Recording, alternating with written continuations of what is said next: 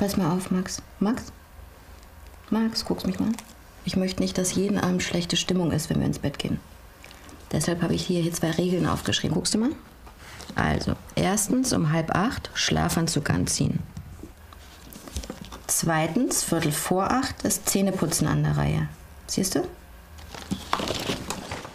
Da. Um zehn nach acht mache ich das Licht aus, wie immer.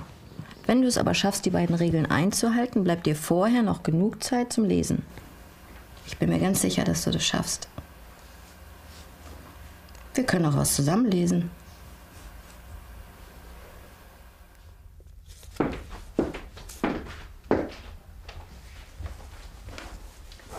So, Max. Jetzt ist es soweit. Jetzt musst du dich bettfertig machen. Guck hier. Erstens halb acht Schlafanzug anziehen. Ach Mann, ich will aber noch nicht ins Bett. Na komm schon, wenn du dich jetzt beeilst, haben wir nachher noch mehr Zeit zum Vorlesen. Na los, zieh deinen Schlafanzug an.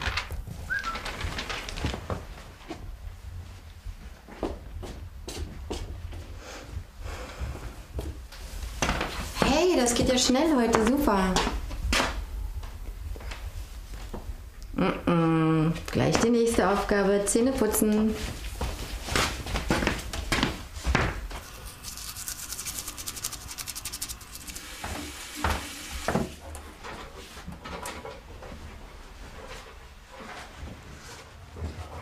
Und?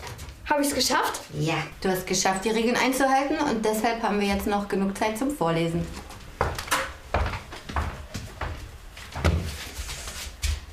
Als plötzlich ein dünner Mann in einem langen schwarzen Mantel auf ihn zutrat. So, jetzt bist du dran. Er führte zwei außergewöhnlich große Hamster an der Leine, die, weil sie Albinos waren, schlohweißes Fell und rote Augen hatten.